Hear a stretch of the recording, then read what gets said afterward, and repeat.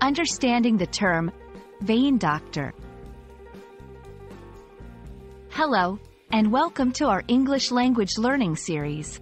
Today, we're going to explore the meaning and usage of the term vein doctor. Understanding such specific phrases can be very helpful, especially if you're interested in the medical field or need to visit a hospital in an English-speaking country. Let's dive in.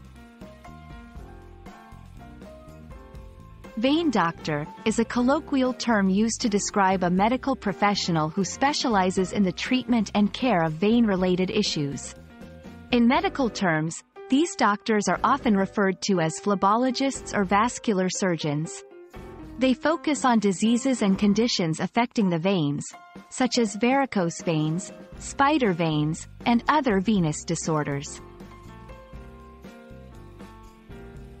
Vein doctors are responsible for diagnosing and treating vein-related problems. This can include performing surgeries to remove or repair damaged veins, administering treatments like sclerotherapy for smaller vein issues, providing advice on managing vein health and preventing future issues. They play a crucial role in ensuring the vascular health of their patients. Knowing when to consult a vein doctor is important.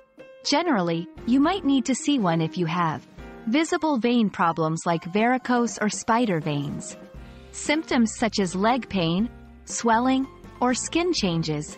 A referral from a general physician for specialized vein care. It's important to differentiate a vein doctor from other medical specialists.